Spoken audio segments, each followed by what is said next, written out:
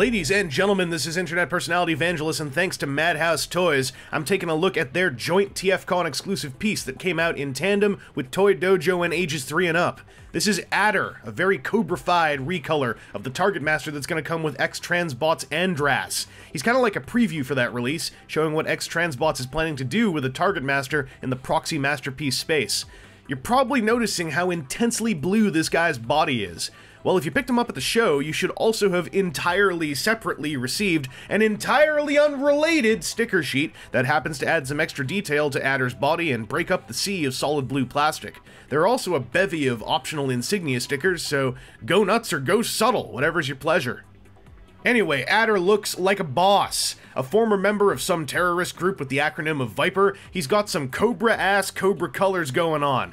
The body sculpt is intense, with a respectable amount of surface detail and some killer pectoral vents, and the proportions are gorgeous. He's not Target Master Stumpy in the least, and looks about as athletic as a broken terrorist in a cybernetic body could hope to look. The head sculpt is nicely thuggish and goggled with somewhat muddy red paint on the face and incredibly sharp yellow paint on the optics. For such a little guy, Adder's got a decent amount of posability. His head is on a straight left-right swivel, his entire arm assemblies are connected via these kind of rotate your shoulder, get ready to punch a dude in the face ball socket joints, but then the inside of the shoulder block has its own slightly buttery detented joint, which is super damn solid. So you got a whole lot of like shrug and uh, and motion going on in here.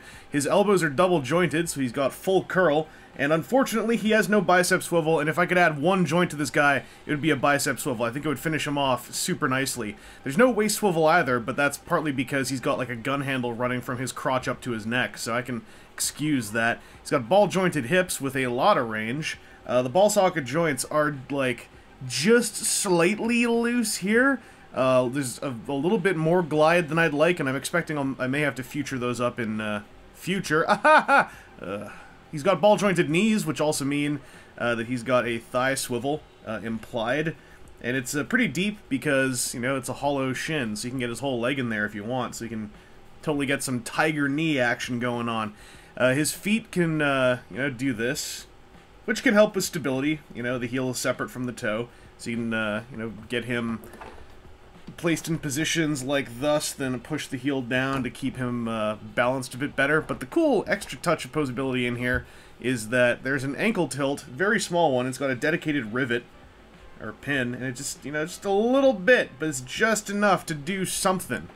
And uh, also, the ball socket joints in his knees have a little bit of side to side, which can add a little bit of dynamicism if you want some dynamicism in your poserism. So this guy is, despite lacking a waist joint or bicep swivels, he is really characterfully and emotively posable. Like, he always looks like he's getting ready to do something that would get a full panel splash in a comic book page, for instance. And uh, I kind of like that on a Target Master.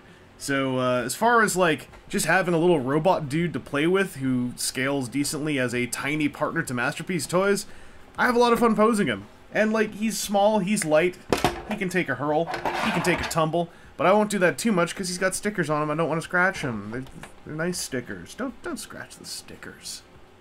A whole lot starts happening as this guy transforms into a gun. His arms curl up, his torso folds at two separate points to zigzag his spine and allow his legs to fold up into the rear meat of the alt mode, but then it all kinda stops. His legs tab together, but otherwise nothing actually locks into place, and it causes the gun mode to have a very disappointing level of tactile squish and non-solidity. It feels like the arms are supposed to do something else, but nada.